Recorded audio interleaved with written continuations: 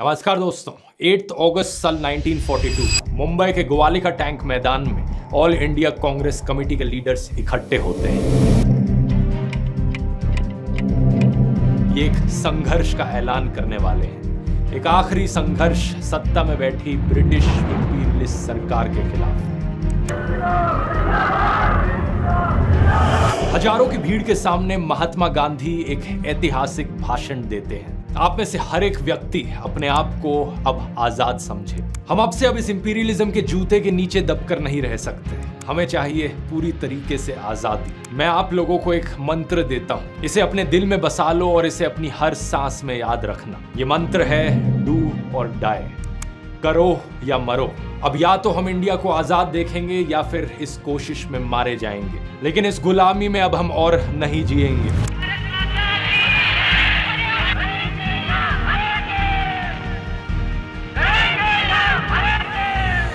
कुछ इस तरीके से शुरुआत होती है दोस्तों, क्विट इंडिया मूवमेंट भारत छोड़ो आंदोलन। ब्रिटिश सरकार जानती थी इसके बारे में, और कुछ महीने पहले से ही ब्रिटिश राज की होम डिपार्टमेंट काम कर रही थी एक थ्री स्टेज प्लान पर इस मूवमेंट को खत्म करने के लिए। स्टेज वन प्रोपेगेंडा का इस्तेमाल किया जाए। पूरे मीडिया पर इस तरीके से कंट्रोल बनाया जाए कि कोई भी अखबार इसकी खबर ही ना छाप पाए। स्टेज टू कांग्रेस ऑर्गेनाइजेशन के दफ्तरों पर रेड मारकर उनके फंड्स सीज कर लेना और कांग्रेस के सारे लीडर्स को अरेस्ट कर लेना। स्टेज थ्री मास मूवमेंट को सप्रेस करने के लिए इमरजेंसी पावर्स का इस्तेमाल करना, कांग्रेस के लीडर्स को एंटी नेशनल घोषित कर देना। और इस तरीके से मूवमेंट को शुरू होने से पहले ही खत्म कर देना अगला दिन 9 अगस्त, महात्मा गांधी, पंडित जवाहरलाल नेहरू, सरदार वल्लभ भाई पटेल, मौलाना आज़ाद और सारे टॉप लीडर्स कांग्रेस के। इन्हें अरेस्ट करके जेल में डाल दिया जाता है। अगले कई सालों तक ये लीडर्स जेल से बाहर नहीं आने थे। फिर सवाल ये कि इस मूवमेंट को कैसे आगे बढ़ाया जाए? आज के वीडियो में आप इंस्पिरेशन की एक ज़बरदस्त दास्ता सुनेंगे। इतनी सख्ती और मुश्किलों के बीच आखिर कैसे इनकलाब का नारा देश के कोने कोने तक पहुँचता है? और कौन वो देश में रहने वाले गद्दार थे जो ब्रिटिश की साइड लेते हैं इस मूवमेंट के दौरान? आइए समझते हैं क्विट इंडिया मूवमेंट को गहराई से आज के इस वीडियो में।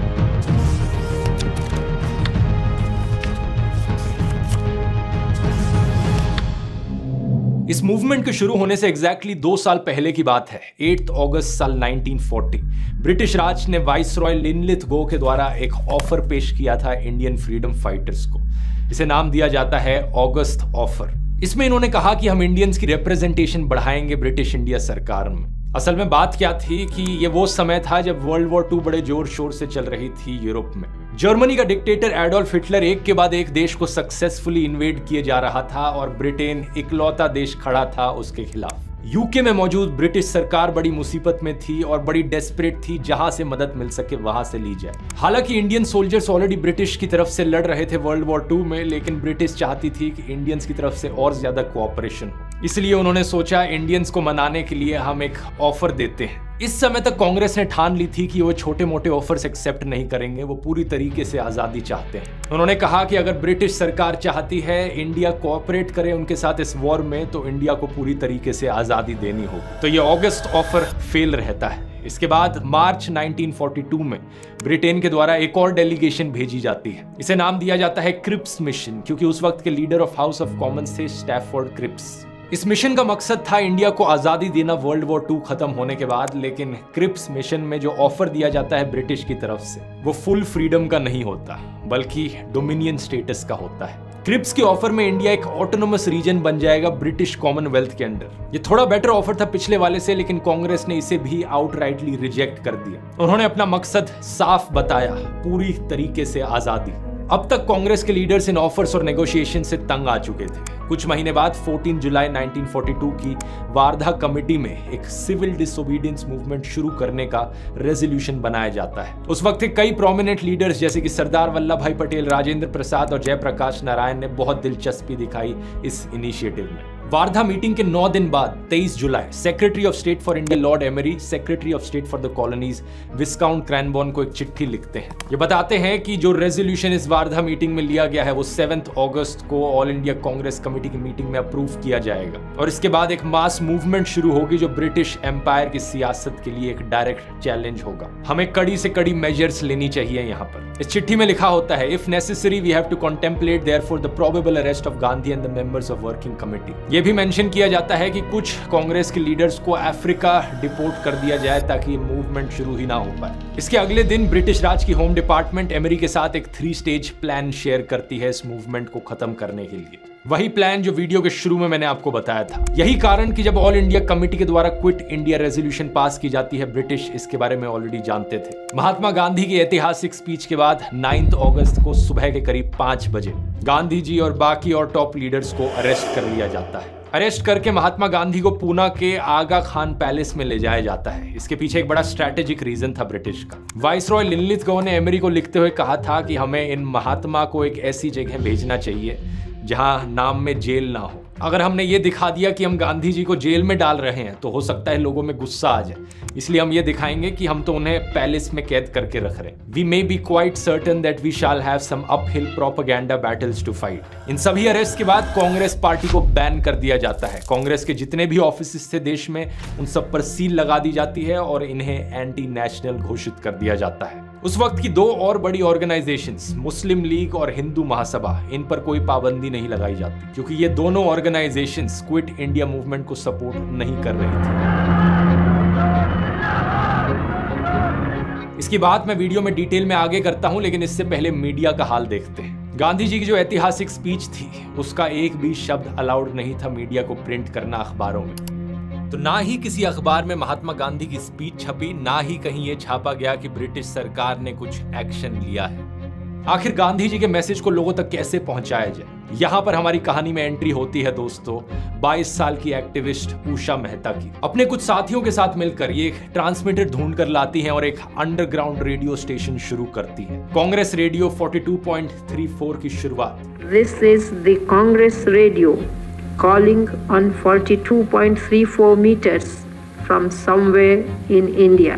14 अगस्त वो दिन था जब इस अंडरग्राउंड रेडियो स्टेशन की शुरुआत हुई और जो शब्द आपने अभी सुने, वो खुद उषा मेहता के थे इस रेडियो के ज़रिए ऑल इंडिया कांग्रेस कमेटी के संदेशों को देश के कोने कोने तक पहुँचाया गया और ब्रिटिश राज के प्रोपेगेंडा को टक्कर देने लगे ऐसे अंडरग्राउंड मीडिया चैनल्स अपनी लोकेशन हिडन रखने के लिए उषा मेहता संदेशों में कहती थी कि this is Congress radio from somewhere in India लेकिन एक्चुअली में वो बॉम्बे से ही ऑपरेट कर रही थी। ब्रिटिश सरकार को इस रेडियो का सोर्स ढूँढने में करीब तीन महीने का समय लगा, लेकिन तब तक बहुत से लोग ऑलरेडी जागरूक हो चुके थे। धीरे धीरे ऑल इंडिया रेडियो को एंटी इंडिया रेडियो बुलाया जाने लगा, जब कांग्रेस रेडियो को जाम करने की कोशिश करी जाने लगी। फाइनली जाकर 12 नवंबर साल 1942 में ब्रिटिश सरकार उषा मेहता को अरेस्ट कर लेती है। उनकी सारी इक्विपमेंट सीज कर ली जाती है और छह महीने तक ज़बरदस्त तरीके से इंटरोगेट करने के बावजूद ब्रिटिश के सामने वो अपना मुँह नहीं खोलती। आगे चलकर साल 1969 में जब उनका इंटरव्यू लिया गया तो उन्होंने ये कहा था, जब मीडिया का पूरी तरीके से मुँह बंद कर दिया जाए तो एक ट्रांसमीटर ज़रूर मदद करता है देश के कोने कोने तक इनकलाब का संदेश पहुँचाने में। जिस वक्त ये मूवमेंट शुरू हुई, उस वक्त नेताजी सुभाष चंद्र बोस जर्मनी के बर्लिन शहर में रह रहे थे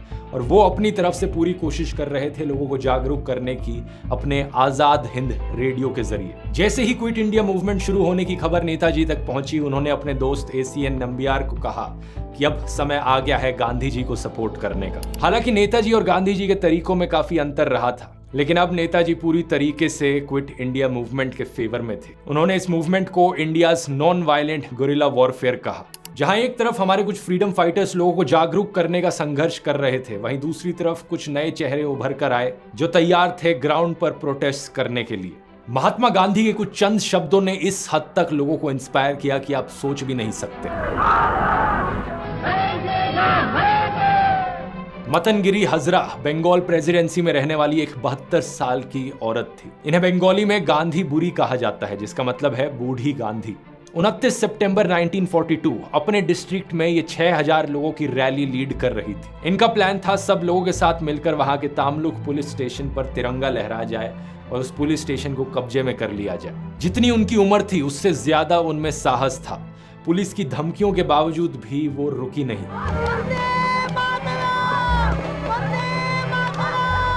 इस रैली को वो सामने से लीड कर रही थी वंदे मातरम के नारे लगाते हुए, कि तभी आगे से उन पर तीन गोलियाँ चला दी जाती है। गोलियाँ लगते हुए भी उनके मुँह से वंदे मातरम निकले जा रहा था, और वो नीचे गिर जाती हैं अपने हाथ में तिरंगा लिए। आज़ादी के 30 साल बाद 1977 में हजरा वो पहली महिला क्रांतिकारी बनी जिनका स्टैचू कोलकाता मैदान में खड़ा करा गया। हजरा जैसे ही हज़ारों लोगों पर ब्रिटिश ने इस मूवमेंट को दबाने की कोशिश में हज़ारों लोगों पर ओपन फायर किया। राम मनोहर लोहिया ने उस वक्त के वाइस रॉय लिनलिथ गौ को एक चिट्ठी लिखी थी जिसमें उन्होंने बताया, पचास हज़ार से ज़्यादा क्रांतिकारियों को मारा गया इस क्विट इंडिया मूवमेंट के दौरान। इसके अलावा एक लाख से भी ज़्यादा अरेस्ट देखने को मिले लोगों के। यहाँ कई नाम हैं जो आपने शायद कभी सुने भी नहीं होंगे, जैसे कि सुचेता कृपलानी जो आगे जाकर उत्तर प्रदेश की चौथी चीफ मिनिस्टर बनती हैं। इन्होंने अपनी खुद की अंडरग्राउंड मूवमेंट चलाई। कुछ लीडर्स अरेस्ट के लिए तैयार थे और उन्होंने अपने पहले से ऑल्टरनेट प्लान बना रखे थे।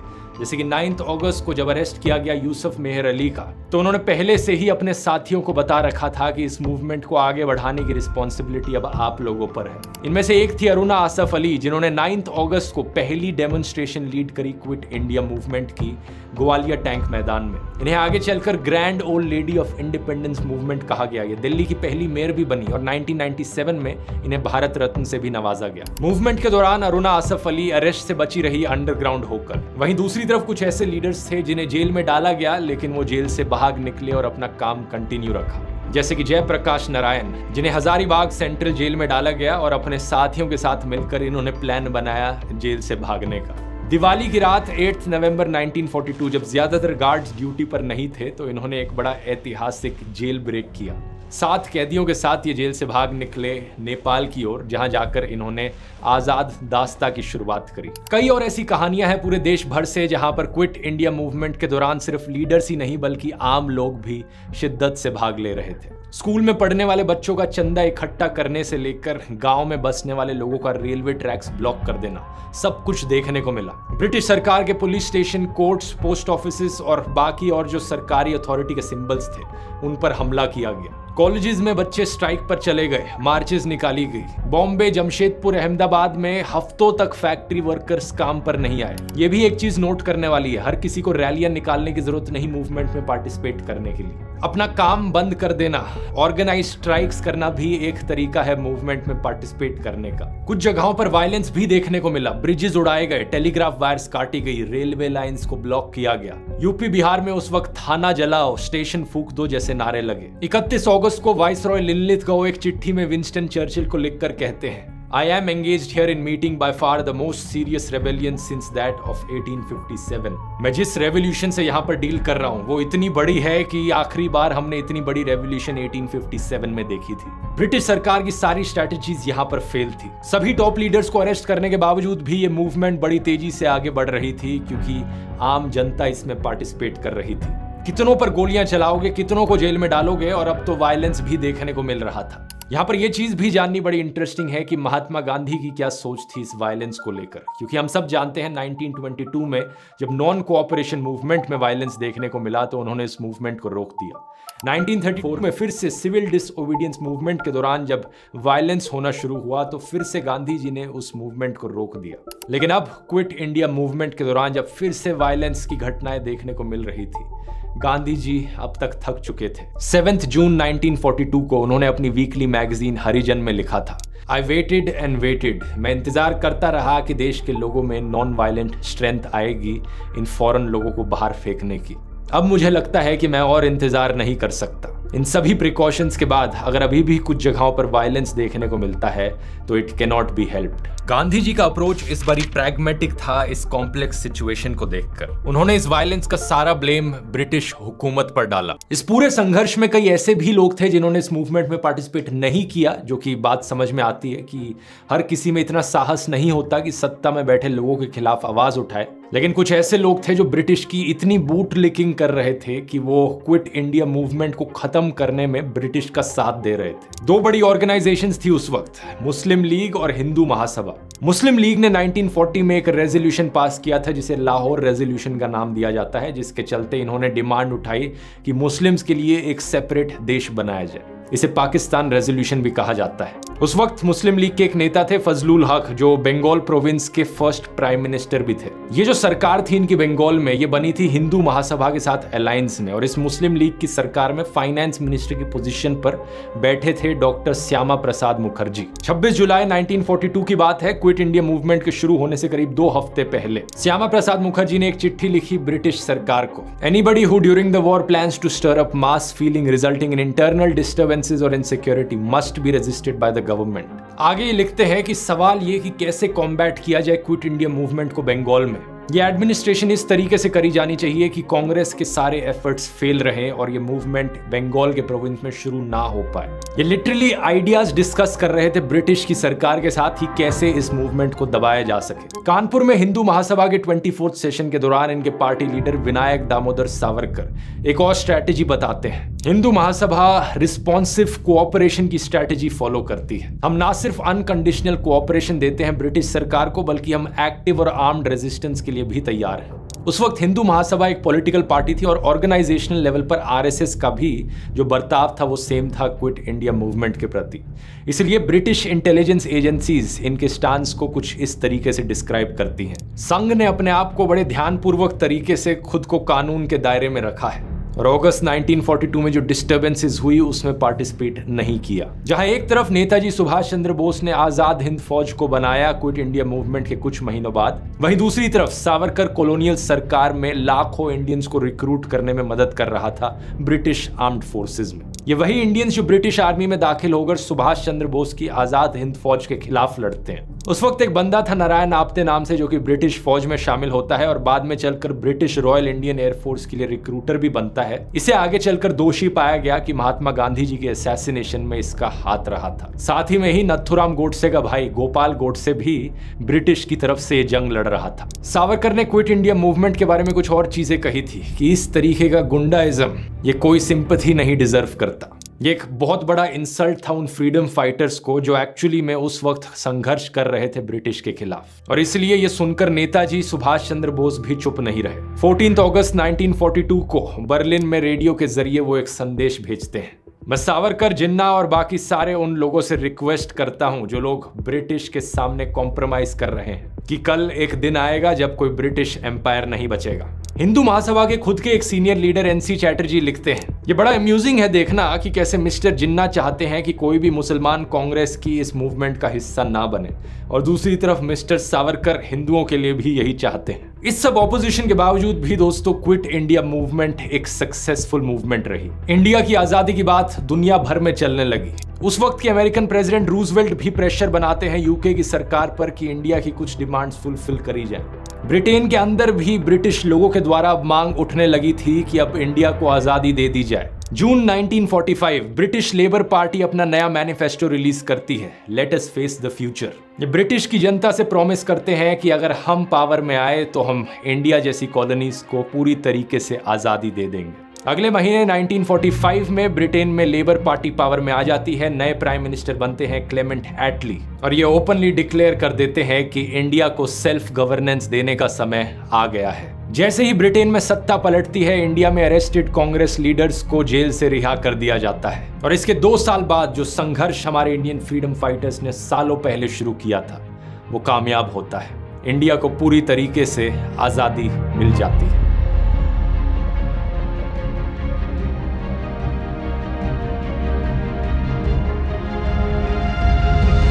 हालाँकि 1945 में चीज़ काफ़ी क्लियर हो चुकी थी कि इंडिया को आज़ादी मिलनी ही है, लेकिन 1946 में दो और इंपॉर्टेंट चीज़ें होती हैं, जिसकी वजह से आज़ादी की इंपॉर्टेंस और बढ़ जाती है। पहला आईएनए सोल्जर्स का कोर्ट मार्शल जिन्हें आईएनए ट्रायल्स भी कहा जाता है, और दूसरा रॉयल इंडियन नेवी म्यूटिनी इनके बारे में कभी और डिटेल में बात करते हैं किसी और वीडियो में? अभी के लिए वीडियो पसंद आया तो अब इस वीडियो को जाकर आप देख सकते हैं, जहाँ मैंने डिटेल में एक्सप्लेन किया है कि इंडिया का पार्टीशन आखिर क्यों कौन से ऐसे लोग थे, कौन सी ऐसी घटनाएँ थी जिसकी वजह से पार्टीशन कराना पड़ा? यहाँ क्लिक करके देख सकते हैं। बहुत बहुत धन्यवाद।